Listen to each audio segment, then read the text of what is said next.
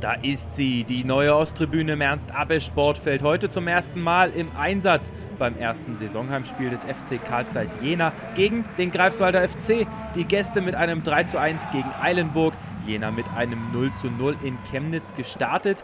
Da soll für die Gastgeber heute natürlich der erste Sieg folgen.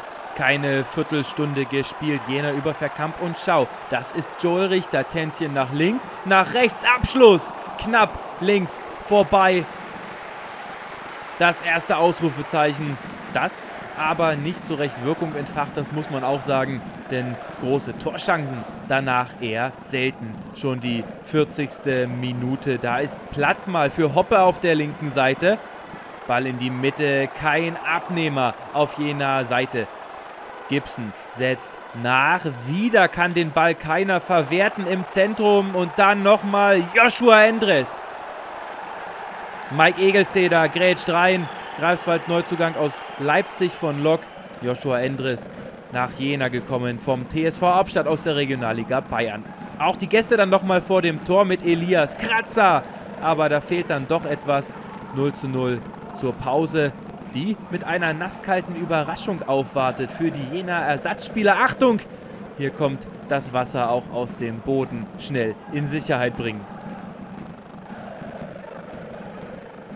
Die zweite Hälfte keine fünf Minuten alt. Der Greifswalder FC zeigt sich sofort. Flanke in die Mitte und Manasseh Eschel, der hat ja mal sowas von viel Platz.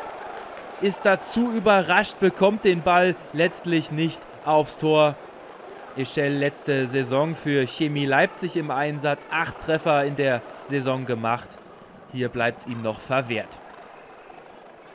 Karl Zeiss Jena. Danach mit einigen guten Chancen. Hier die erste. Da geht es schnell über Endres und in der Mitte Verkamp. Aber Riesentat von Jakub Jakubow. Pascal Verkamp bleibt da erstmal einfach auf dem Boden liegen. Was für eine Möglichkeit. Aber was ist das bitte auch für eine starke Parade. Großartiger Reflex von Jakub Jakubow. Nächste Szene, die Ecke direkt im Anschluss. Fliegt rein, Jakubow erstmal mit einer Faust. Aber Greifswald bekommt den Ball nicht vom eigenen Strafraum weg. So kann Jena nachsetzen. Das ist Hene!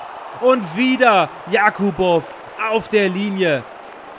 Fast wie bei einem Elfmeter. Hene aus, naja, vielleicht auch zwölf Metern. Aber stark wie Jakubow hier wieder den Ball rausfischt.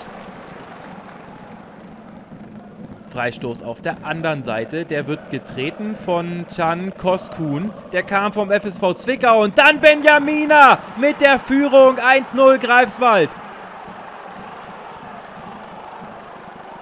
Da hat Jena die Riesenchancen zur Führung. Und Greifswald macht sie.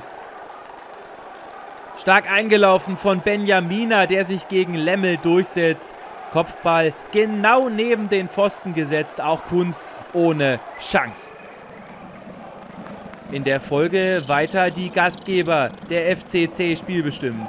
Mittlerweile Jan Dahlke für den Sturm in die Partie gekommen. Da ist er, Jan Dahlke!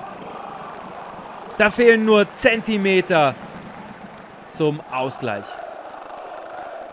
Weiter geht's mit Jena und weiter geht's mit Lemmel und Muyomo. Jonathan Muyomo hat Platz, kann nach innen ziehen. Muyomo, jetzt kommt auch noch Alupech dazu. Der ärgert sich. Jonathan Muyomo, starker Abschluss. Jakubow wäre wohl auch nicht mehr da gewesen. Jena rennt so langsam die Zeit davon. Schon die Nachspielzeit, 92. Minute. Freistoß Hopper, auch Kunz mit vorne. Aber Hene macht's. Ausgleich 1-1. Maurice Hene. Und als wäre er der Spezialist dafür, in der letzten Saison, im letzten Heimspiel gegen Hertha 2, den Ausgleich zum 1:1 in der Nachspielzeit gemacht. Jetzt wieder Jakubow auf der Linie. So schnell kann auch er nicht reagieren. Der Ball schlägt ein und dann gibt es von Hähne noch den ganz speziellen Gruß ins Publikum.